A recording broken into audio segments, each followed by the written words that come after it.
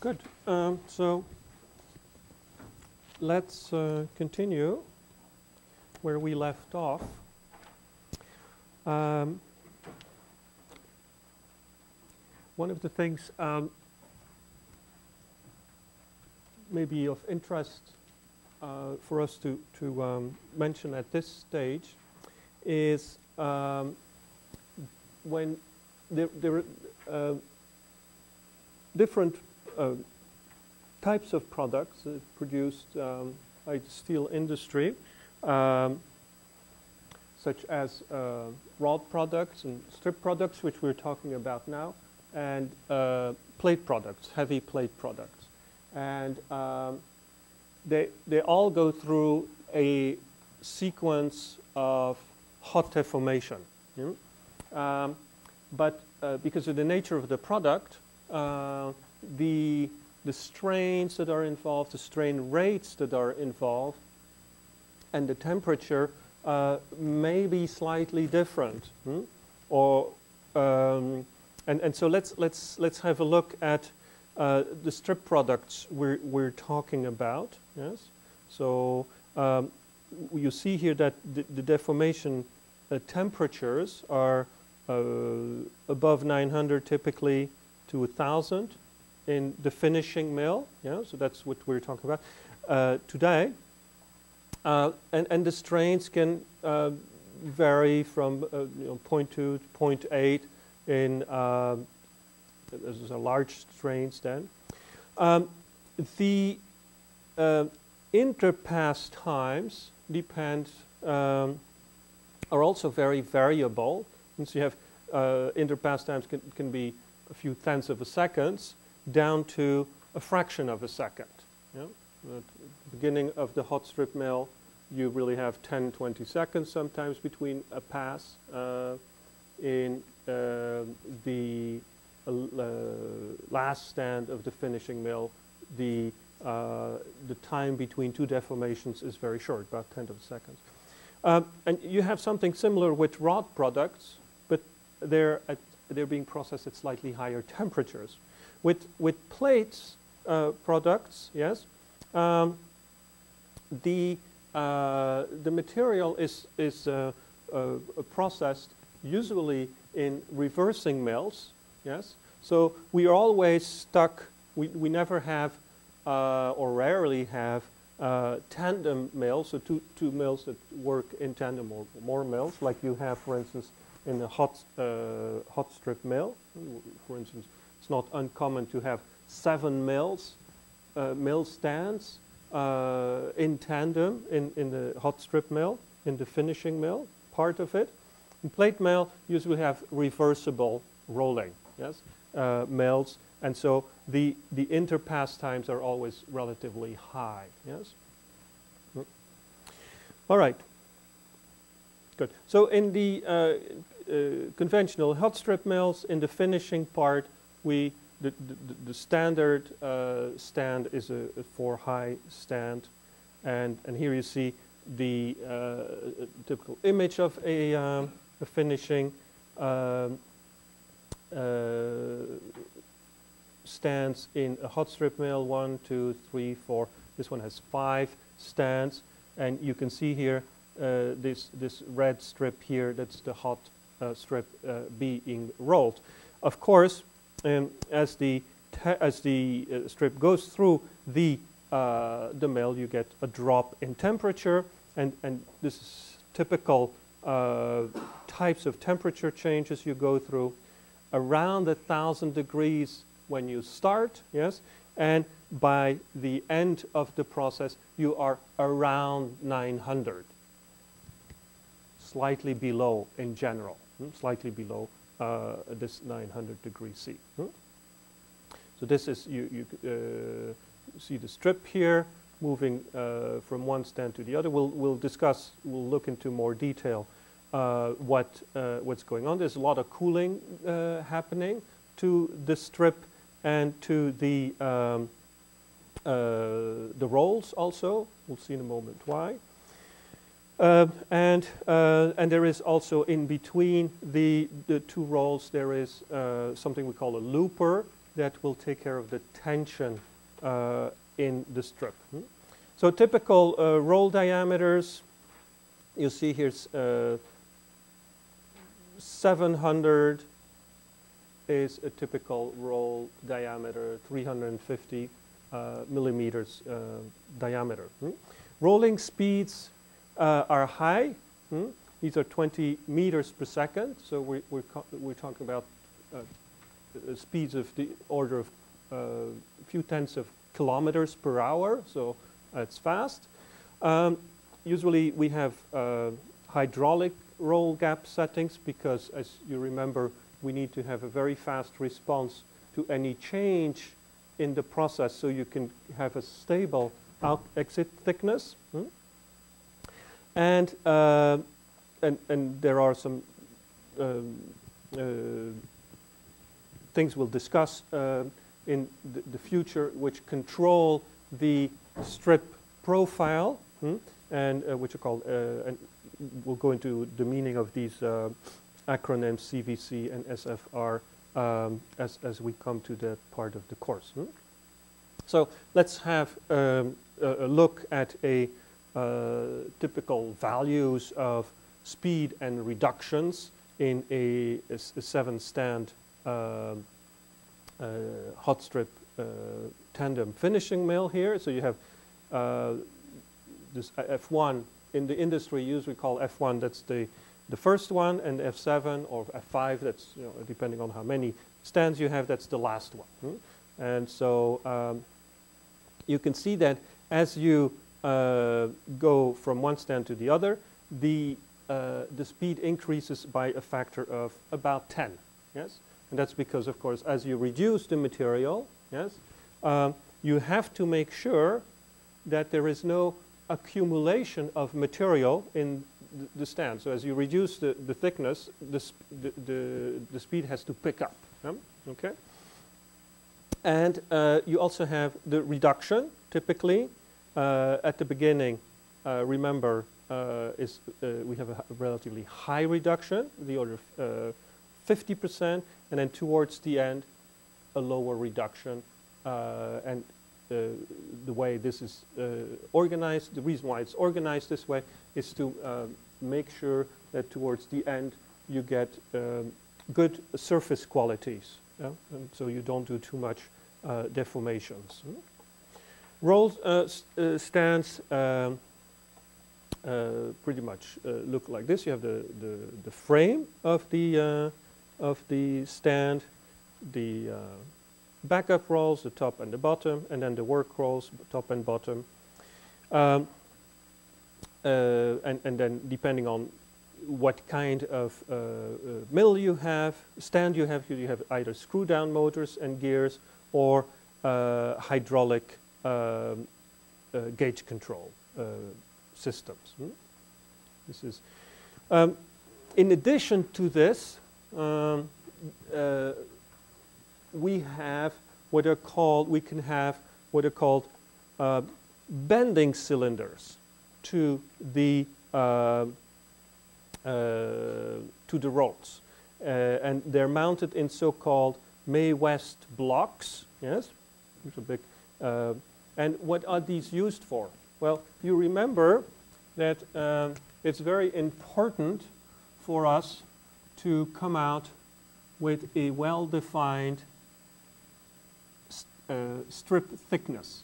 It turns out, and we'll, we'll see in uh, detail how this works, but it turns out that the thickness, uh, and, and now I grossly exaggerate the thing, but the, the thickness actually looks like this. Yes, and um, we we talk about strip profile when we discuss uh, the thickness variations and thickness changes in the transverse direction. hmm? Now, uh, this is done in a controlled way by uh, doing um, uh, by bending our cylinders, our cylinders. yeah? So usually, when you uh, when you roll a material, and again I exaggerate this very very uh, much, the the cylinders will have a tendency to bend this way. So th this is the material that you're rolling, and um, these are your cylinders, your work cylinders. They will have, they will bend this way as you roll. Hmm? Uh, so in order to control this, um, we add systems of pistons here and there, yes, which will cause the bending to be much smaller. Yes? In fact, we can control how they are bending. Yes? And so this is what these, uh, these bending cylinders do here. These bending cylinders. Yes? They're nothing else than hydraulic cylinders. Here you can see how they look like. Yes? Yes? Um, that can bend the rolls. Yes? Hmm? And they're mounted in these blocks, special blocks, which we, in, in, for particular designs of uh, roll bending systems, uh, in, in this particular case called Mae West block. Uh, there are other things in um, the um, uh, in the mill stand that are uh, of importance. Uh, lubricants that can be used, uh, cooling of the rolls, yes. Um. There can be strip cooling, hmm. uh, uh, water sprays to remove oxides that are formed, hmm. and, and so on. Hmm. Uh, of, of very big importance are the roll cooling and uh, these systems are, it's not just a water spray. Again, we'll talk about this in more detail as, as, we, um, as we talk about uh, product um, shape control and product um, uh, profile control. But um, when, you, uh, when you roll material, yes, and you are rolling a material that's very hot. So uh, say this material is very hot. It's red hot, actually. Yes. What happens? Uh, it heats up your roll, right? It heats up. Uh, it heats up this this part of your roll. Yes. It's in contact with. Yeah? And uh, what happens when you heat up something? Things expand thermally, right? So um, so the diameter of your roll is not constant. Yes? Where, it, where the diameter is hot, yes, um, the roll will have a larger radius. Yes? So if, um, so to make sure that the radius of your roll hmm, stays constant, yes, you, uh, you will apply uh, cooling to your roll, yes, in a um, spot-like, with spot-like coolers, yeah, so that they, every uh, uh, uh, spray will cool a section of your roll, yes? and try to keep the temperature constant. The reason why you do this is because it can very well be that uh, only one part of your roll is, is develops a, a hotspot, yes? And, uh, and so you need to control that particular uh, area uh, by cooling more uh, than other uh, areas. So, so there is a, um, a whole science of, of strip of roll cooling and strip cooling in the, the hot strip mill. Uh, so let's just um, um, say a few things uh, about this, uh, about the temperature of the rolls first. Hmm? So um, if, if you're um, if you're rolling a hot hot material here, so you have strip material that has a high temperature, right? Um, what are you going to let the, the roll heat up? Yes? No, you don't let the roll heat up. You, you constantly cool the rolls. Yes? Hmm? However, um, it's clear that even if you cool the rolls, when they're in contact with the strip, you can't cool them, right? So in this area here, yes, you will have heating, yes, of the roll. Hmm? So how, how large is this heating and how deep does it go? Hmm? Okay, so we're going to look at points one, two, three, four, and five, yes? And we're going to look at the surface and uh, below the surface, okay? So if you look at the surface temperature, hmm, so one, two, three, four, I go low temperature before I touch the material.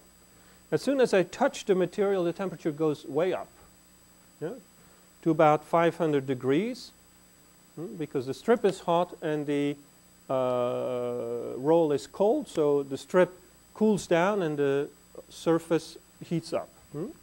Uh, the, the, the surface of the roll heats up. And then you go out, you leave the, the roll gap, the temperature drops, yes, at the surface.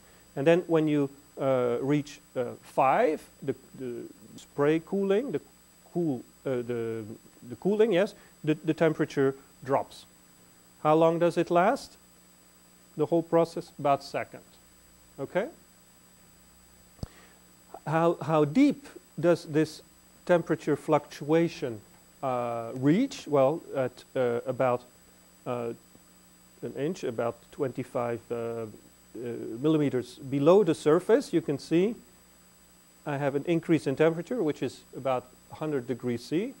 At 5 centimeters below the surface, uh, I, I, have barely a little bit of heating. Yes? Hmm? Um, so remember, your roll diameter is about uh, 700, say. Let's, let's say we have a diameter. So that's um, uh, 350 millimeters, yes? So uh, the uh, 50 millimeters here, yeah? so 5 centimeters, that's the zone that's influenced thermally, yes? And uh, that will be influenced, that, that will actually have, and that will cause, of course, um, at the surface, you'll get oxidation, you'll get thermal fatigue, yes, expansion, contraction, expansion, contraction, and uh, what you also get is a lot of friction, right? As you know. So this is more a technical uh, view of the things. The strip will pass from here to the next uh, stand. Uh, there is cooling here and cooling on the rolls. And then there is what's called a looper here, which we'll discuss in a moment. Okay, headers to cool the strip. Um, right, you can, you can have a look at these images. So what is this looper here? Um, the loopers maintain the, uh, the tension in the strip. And that's important to have tension in the strip. So uh, uh, one of the reasons is that if there's no tension in the strip, the strip might go left and right, move away from the, uh, from the position it's supposed to be. But um, what is more important, it corrects for speed differences between the mill stands. Yes? Um, so it's important when you roll, yes, that you are in situation of constant mass transfer. Yes? So the material that comes out here has to, per unit of time, has to be exactly the same as the material that goes in here per unit of time. If that's not the case, you either accumulate material between the, the stands, yes, and this will start to hang out, yes, and make a cobble if it doesn't get corrected, or if you the uh, mass of material that comes out here is smaller than the mass of material that comes here, the tension will increase and you'll have a fracture. Yes? So keeping the tension under control is very important. So this looper roll does this. Yeah? It, it puts a little tension between the two. Yes? If there is a slight imbalance, it can reduce, it can come down so that um, I have less slack between the two. Yes? If um, there is uh, a difference, this one uh, uh, has a lower mass input, then you can, this looper will pick this up, yes, the slack. Okay, so well, I not have much time to, to go into this, but I, I will, uh, again, because of the impact it has on strip quality, uh, I will we'll, we'll talk about this in more detail when we talk about the uh, strip uh, profile. But anyway, the, the uh, looper roll is important to um, uh, to control this, the tension between the two stands. So basically, what it is, it's it's basically a roll, yeah, that's pushed against the uh, the hot strip. Hmm? And uh, so, so you have an arm, a roll, and you have an actuating cylinder that pushes it, pushes the roll up or down against the, uh, the hot strip. Okay. So um, there we are. We are rolling uh, this, uh, this material in the hot strip. Uh, we get friction.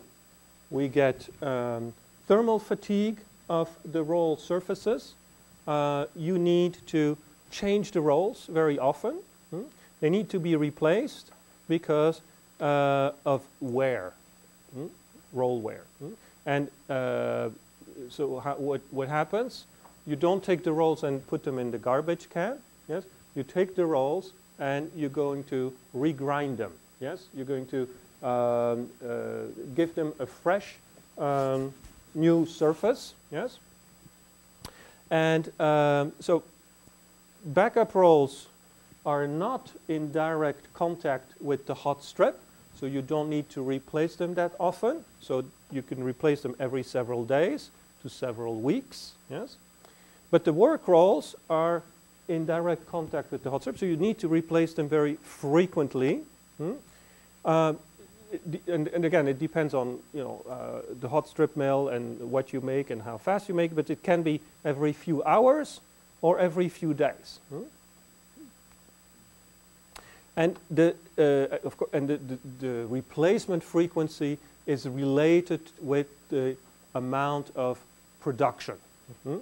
So, for instance, uh, finishing uh, mill work rolls are replaced, for instance, uh, every few thousand tons of uh, production. Backup roll will be replaced every close to 100,000 tons of production. Hmm? And of course, um, when you are replacing rolls in a stand, there are no rolls in the, in the stand, so you need to do this very quickly. Hmm? So if you visit a hot strip mill, you will always see right next to the stands in the finishing mill, you will always see rolls that are ready to be uh, used as replacements. Hmm? Hmm? Um, so the rolls that are taken out go to grinding shop, hmm? and uh, these are uh, very high uh, specialized uh, computer-controlled machines, CNC machines, yes, uh, which process, which can process 250 rolls per week typically, and which can grind, uh, regrind uh, the surface of a roll uh, in about half an hour. What you basically do is you remove, you remove the damaged part of the um, surface.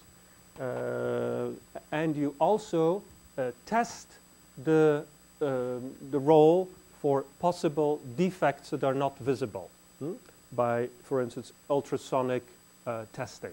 Hmm. Um, so um, I, I, have a will have a specialized a, a, special lecture on roll and roll materials, uh, and uh, and we'll we'll talk about uh, that in more detail. So, but you you typically um, take off again depending on the amount of damage, etc. Et uh, half a millimeter to three millimeters. Yes, um, and if you remember, that's that's close to this region thickness that's thermally in influenced by the temperature changes. Hmm?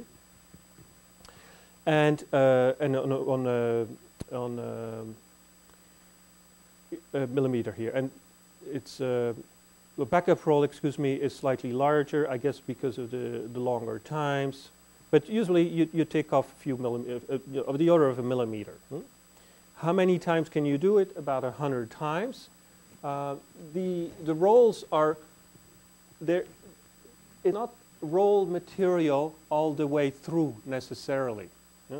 There are actually uh, most rolls will have a surface material which is very hard and then a central core which is a different material. Hmm? Yes? So um, there's only so much you can remove yes, before you actually need to change the roll. Yeah. So, for instance, a, uh, uh, a, a, 700 millimeter diameter roll will be replaced when you have uh, when when the diameter is is changed to uh, 630. Yeah. So that means that every time you change rolls, yes, you have to input new roll parameters, right? Diameter uh, in your uh, control system. Hmm? Right. And, and, and this, these are some views here from these, uh, these machines. You can see here um, the, it's a backup roll, very big backup roll, is mounted here. And, and here you see it, uh, you, you see the, uh, the grinding machine. Here you see it's uh, nice and shiny. Here it's rough and uh, not shiny. So this is the damaged part. And the, the way you remove this damaged part is with this, this special uh, grinding wheel. Hmm? Uh, okay. And uh, usually the, uh, as I said, the, uh, there are systems which allow you to replace uh, the rolls together. The two work rolls are replaced together. The, the, the um, as in, in fully automatically. Hmm? For instance, this is here uh, with a crane. You replace uh, a system that replaces one one work roll at a time. Uh, this is a system where the two work rolls are uh, pre-mounted and uh, are uh, replaced together. Hmm? this is a system where you have combination of work rolls and backup roll, uh, etc. So there are different systems depending on uh, you know the, the, technology that's installed. The um, so for your information, the um, uh, males cylinders are um, activated by uh, electrical motors. Yes, uh, the the shafts of these motors go into gear boxes, yes, and then you get output shafts, yes, and usually you have one drive motor, a gearbox, and then two output shafts, yes. Um, this is a view of this uh, this gearbox, yes, and so you have here the two uh, output shafts from the gearbox. Yes, you have these long shafts that are connected to uh, via coupling ends to, in this case, uh, the work rolls and that uh, make them turn. Okay. We'll we'll see that these uh, um, uh, shafts and the uh, have an impact on the um, quality, strip quality, because they can induce vibrations. They're very long elements that can start to vibrate. Yes, and uh, so that is an additional um, difficulty. The uh, very important in all these systems is um, the the bearings. You know, there's very uh, many uh, advanced bearings are used for uh, rolling mills. Hmm?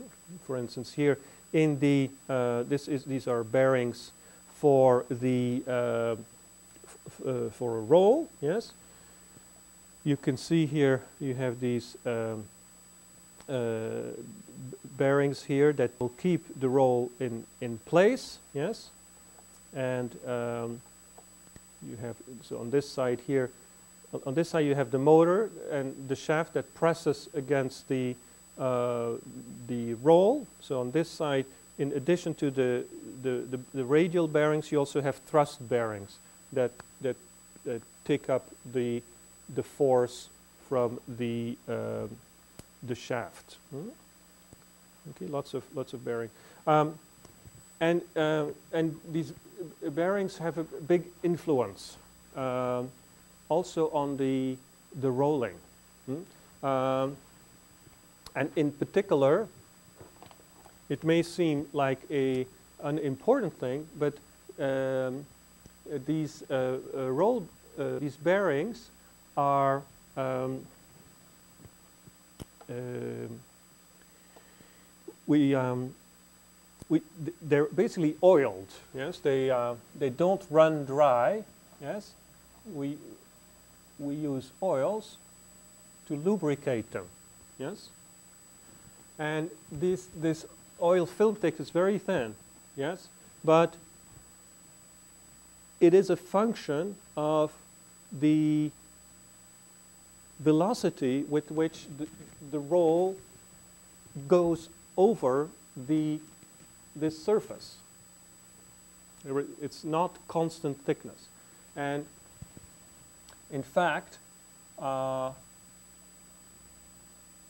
it cause, if, if this is the mill modulus, yes, the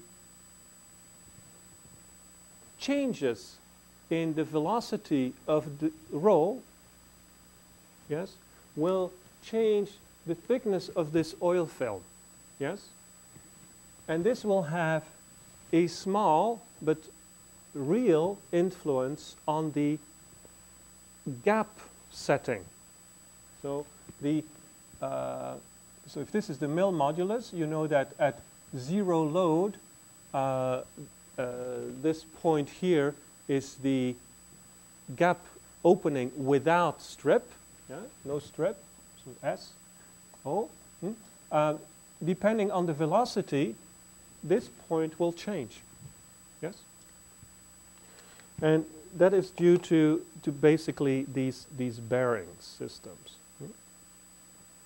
Okay. Good. So um, the material is uh, hot rolled. It is now, after the finishing mill, it's coming out of the finishing mill at around 900 degrees C slightly lower than 900 degrees C, but it's fully austenitic, yes? And, and so um, we need to cool it down to room temperature. And the way it's happening is um, by uh, cooling. And um, the first thing you do is you go through a uh, run-out cooling table. Hmm?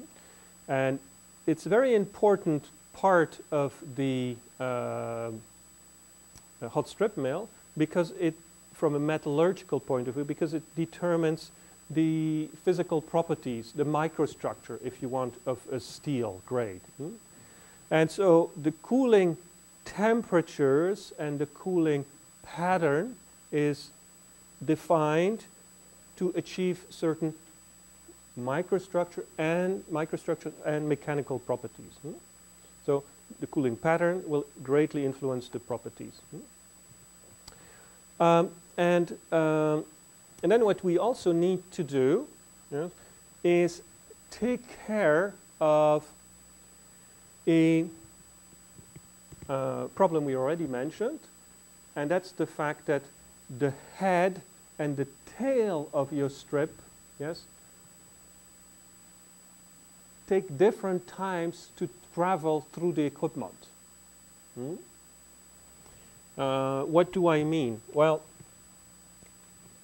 if, uh, say, let's just look at one uh,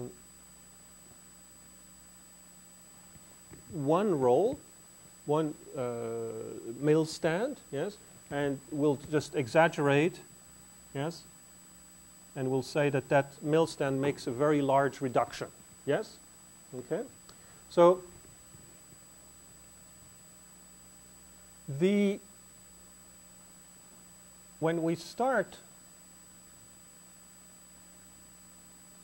yes when we start the rolling when we start the rolling the guy at the head yes speeds up right it will have a much larger velocity coming out than the guy here. Yes? Hmm? So,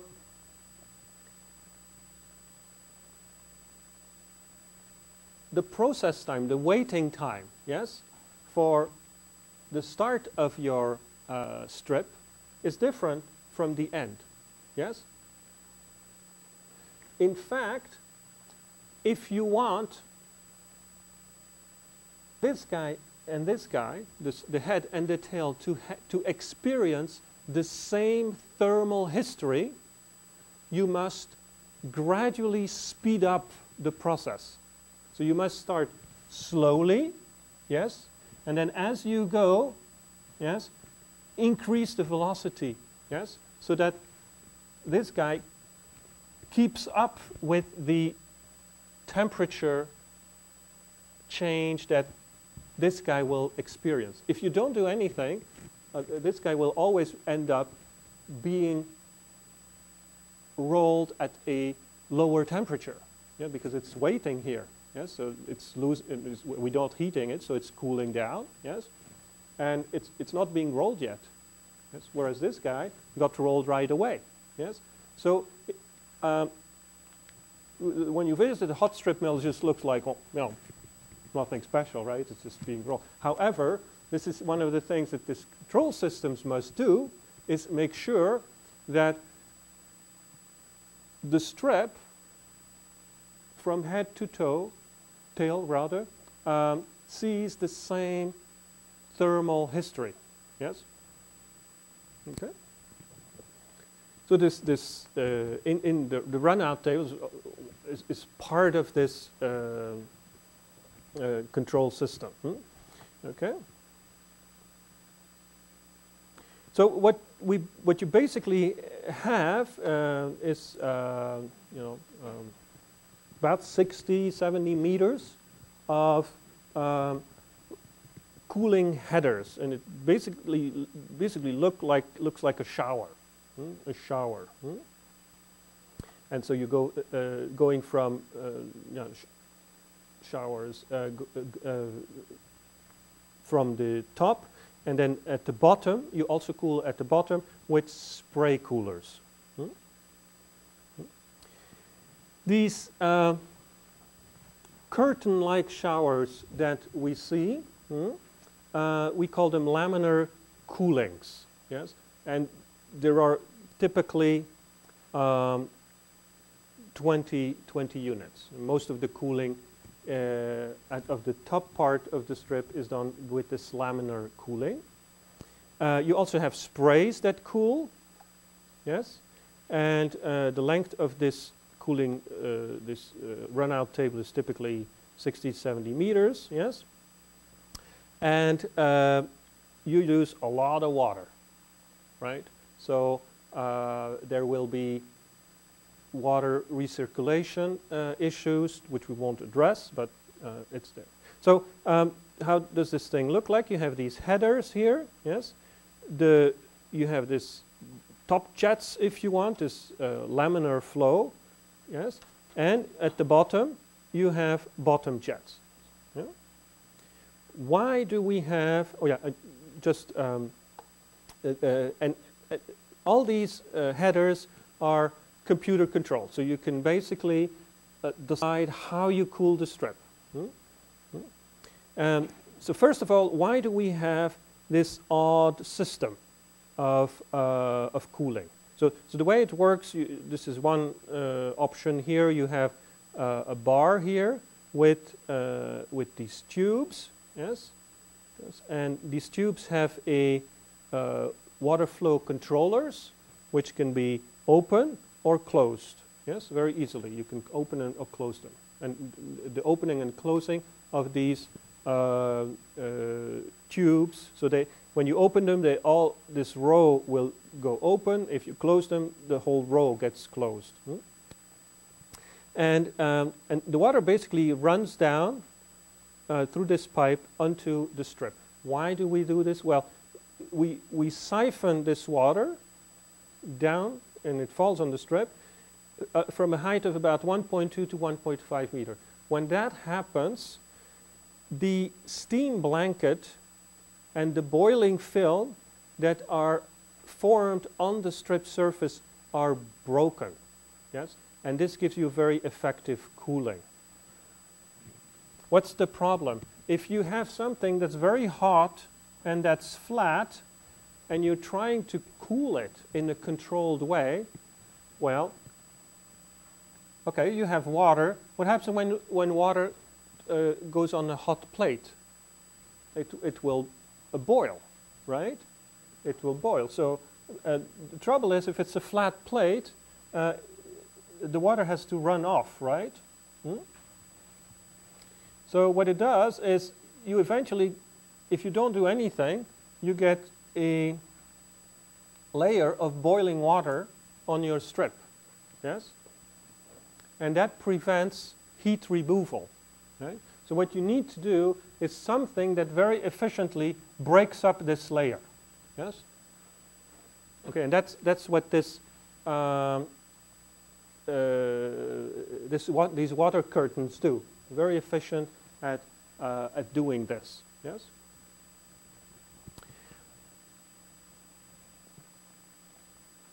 This laminar flow. So, so and, and so, um, as I said, all these uh, tubes are in, can in principle be uh, computer controlled, so you can do, give any uh, complex or simple uh, cooling pattern to the um, uh, to the strip. Hmm? So usually we they're um, grouped in banks of um, laminar cooling heads. Hmm? And the temperature will, for instance, if we just do a simple uh, linear cooling, yes. Hmm? So uh, so when the strip exits the finishing mill, you measure the, thick, the, the, the, temperature, right? So you, you know uh, what the cooling uh, has to be because you define the exit and the coiling temperature. That's the temperature at which you're going to coil this thing.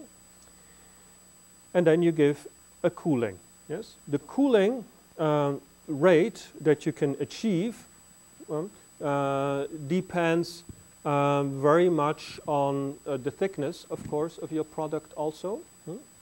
So let's say a typical hot strip mill product will have six millimeter in thickness.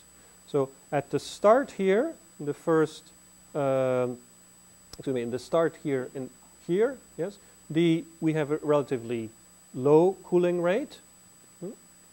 The first 16 meters, yeah, and uh, in when you're in the laminar flow, uh, in, in this uh, region here, yes, the cooling rate can be up to 35 degrees per second. And then once you get out of this, the cooling is 2 degrees per second. Okay?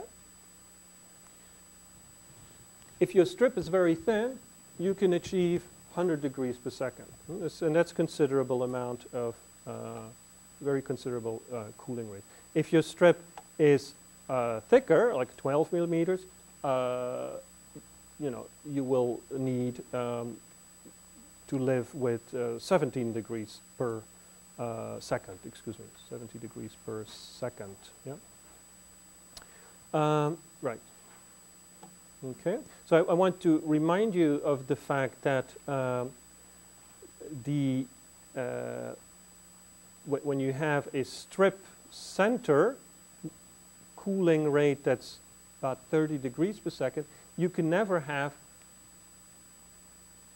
the, the through thickness cooling rate to be exactly the same. So the surface will always experience a stronger cooling than the interior of your material. Hmm?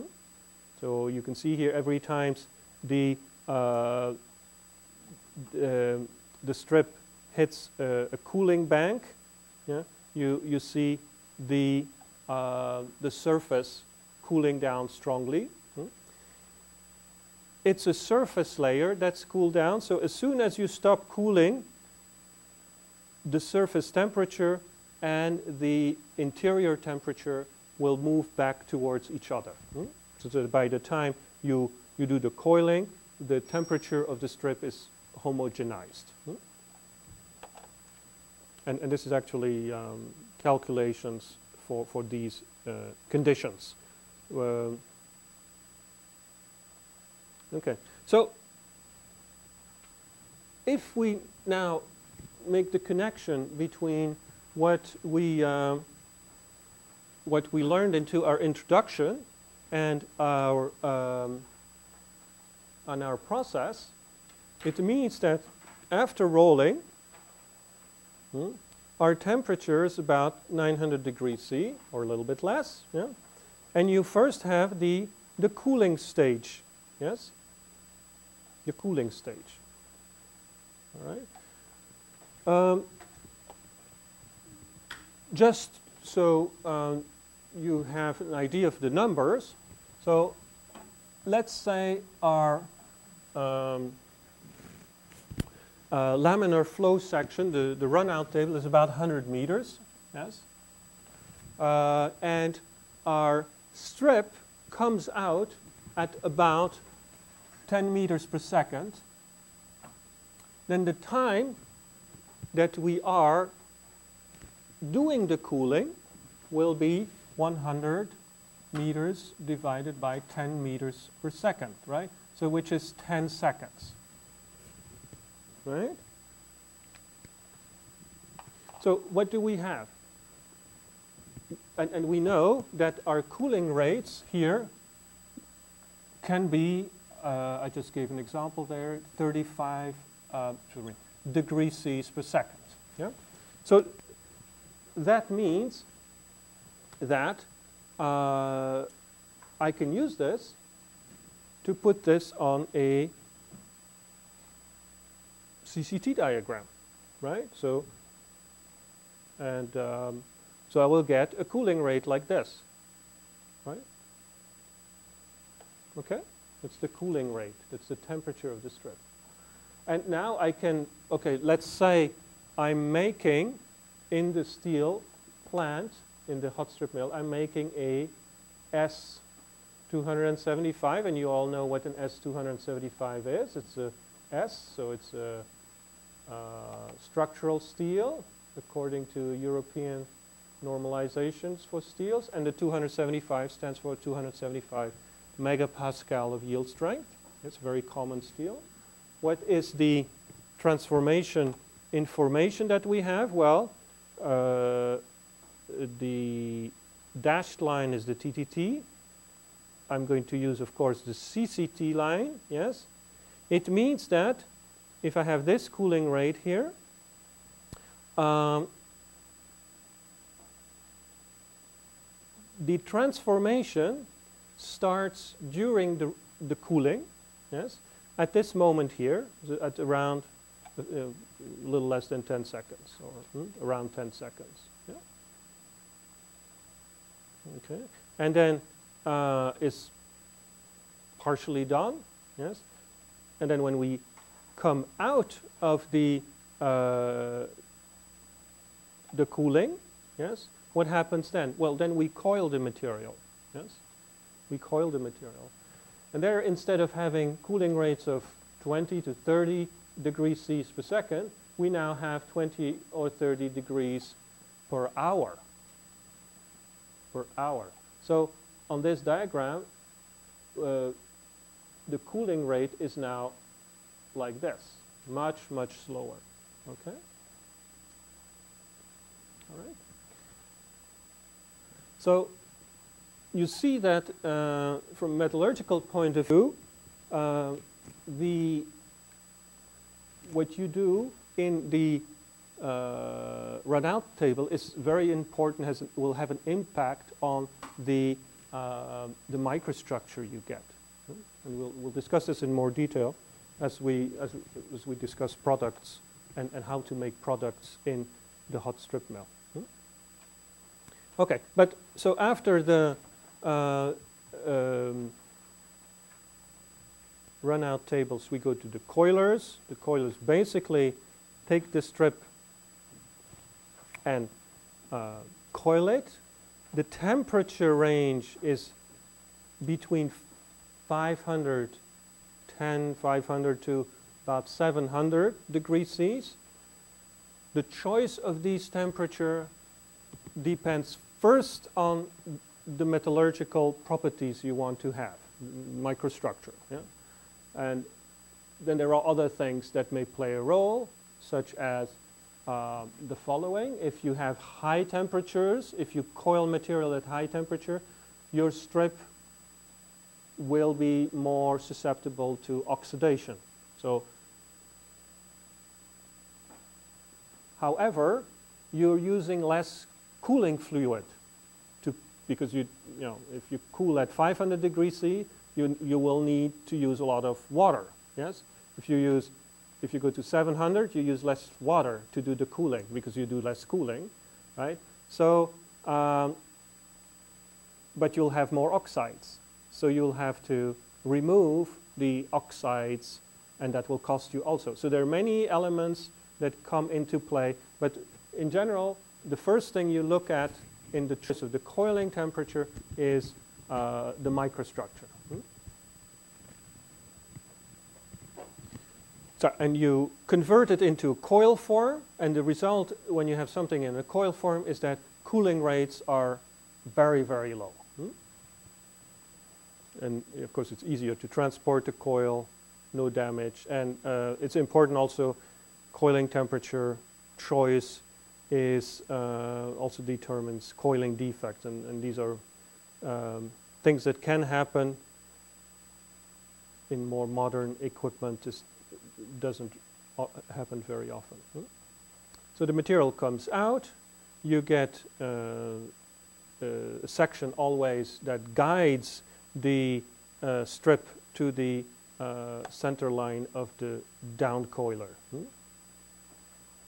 And this is the down coiler view from uh, the side. So what, what you have is the strip will be uh, pushed down between these pinch rolls, yes, going this way, it will be caught by the uh, mandrel, and then the mandrel will, will start spinning and roll up the strip. All right. Uh, again here, um, it looks like a very simple process.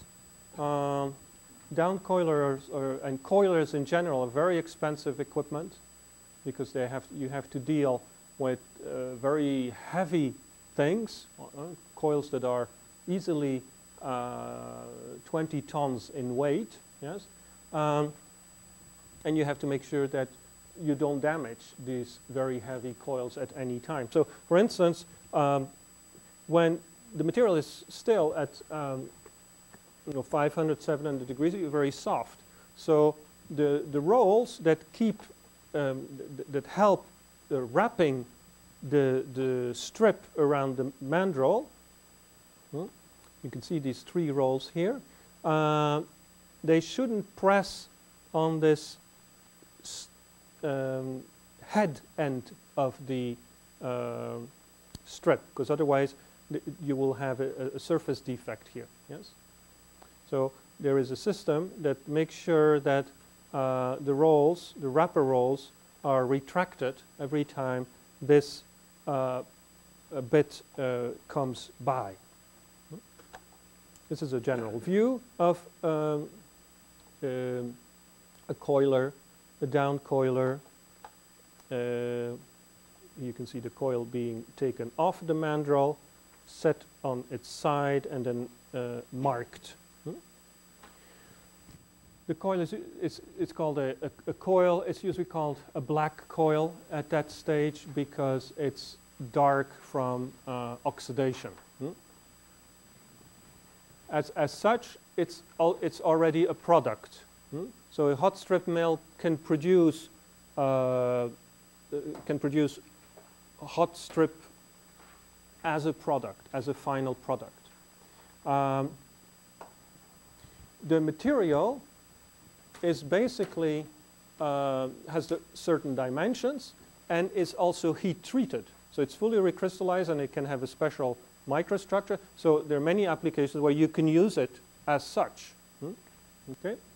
Um, for instance, uh, when you um, when you have uh, trucks, yes, the the heavy frames of trucks are made are very often made with um, this kind of material, hot rolled material. Yes. Uh, yes. It's, all, it's important also to realize that, that it's heat treated, right? It's like um, uh, it's it's ready for use, basically.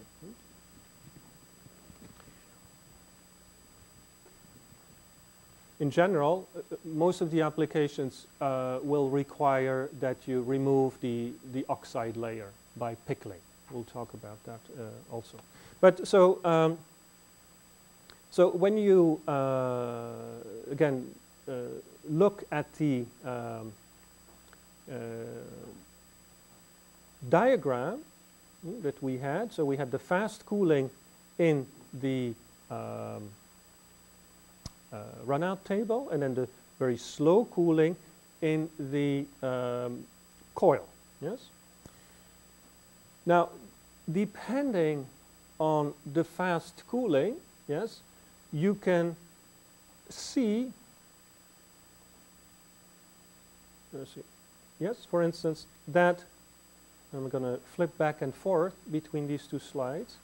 So this is a slow cooling this is a fast cooling. If I do a slow cooling, yes, you can see that the transformation, yes, is not completed, it's far from completed when I coil the material. In this case, oops, the other direction. In this case, the transformation may be fully finished by the time I coil the material. So depending on, yes, the so here for instance, and let's go back. Oops.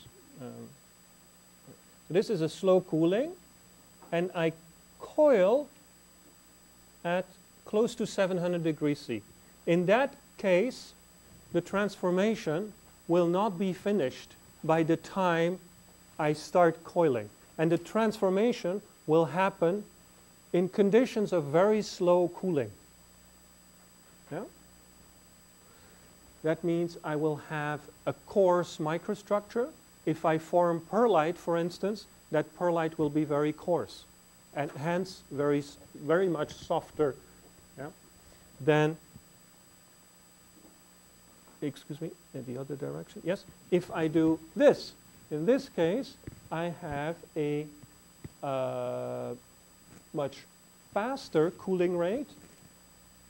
The coiling temperature is now lower, uh, less than uh, 600, about 550, yes. I will have more transformation done during the cooling, the fast cooling, yes. And what happens in the coiled, uh, in the coil will basically be cooling, yes. Okay, so the, the, the, the, the, choice of the temperatures in the uh, run-out table the coiling temperatures uh, are essential elements in creation, the creation of the microstructure in a hot uh, strip product. Okay. Okay, so we, have um, in conclusion here, we've talked about hot uh, strip rolling, and um, we, what we presented was basically conventional hot strips uh, mills. We talked about what is important, the reheating, the rough rolling, the finishing, the descaling, and then the importance uh, from a metallurgical point of view, what happens in the run-out table and, and during the coiling. Hmm? All right. So um,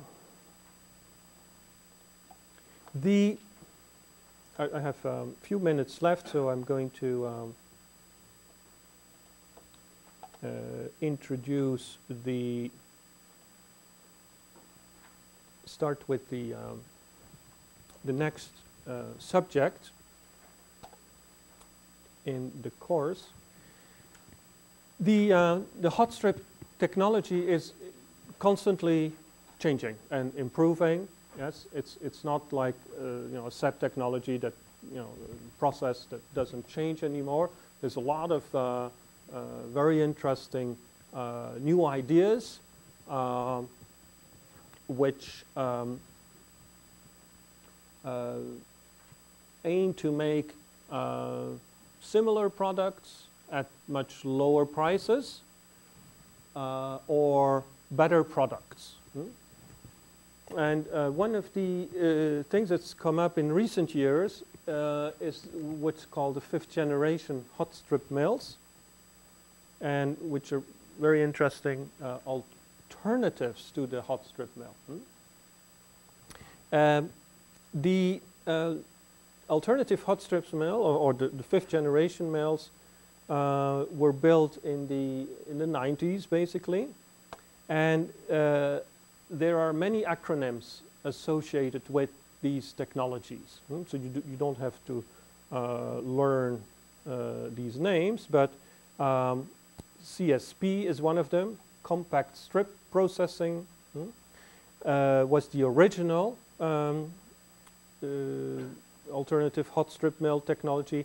And it's evolved into designs such as the inline strip processing, the endless strip processing, the casting, pressing, uh, rolling process, etc. Hmm? What is important about these hot strip mills is that they are compact and they're very cost-effective facilities with low cost. Hmm?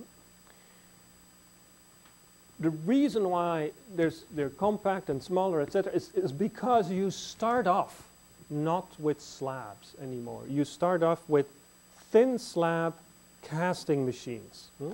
And there the thin slabs, instead of being 25 centimeter or thereabouts in thickness, they are 50 to 100 millimeters, so 5 to 10 uh, centimeters, hmm? so about a fifth to half the, the, the thickness. Hmm? Um, which then um, are cast, uh, they, they go into special um, furnaces, they're not cooled.